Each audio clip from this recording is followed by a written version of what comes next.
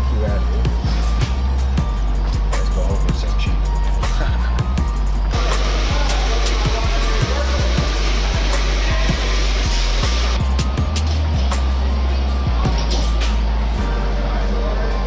That's, that's a fear that there's a product that's coming in here that's going to cost me another seventy to eighty thousand dollars per truckload or container, and am I going to be able to sell it? So we've been stockpiling cheese. My normal inventory would be nine to ten million dollars of product. Uh, I probably have now 15 or 16 million dollars.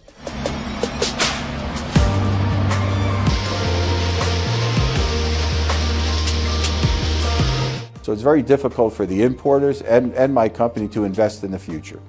I mean, how, how am I going to invest or promote something where I may not be able to sell in the future?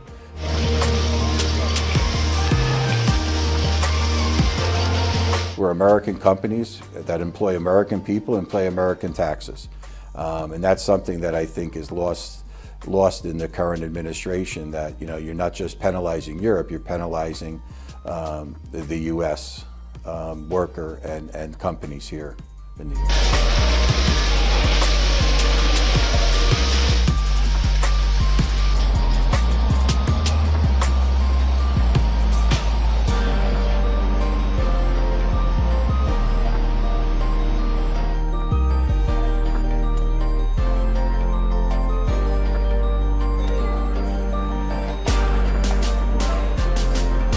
right now, the, the, the, initial thing is to make sure that my customers are, are, are stockpiled. I have a stockpile of cheese to make sure that I'm able to maintain inventory maintain um, sales at my counter.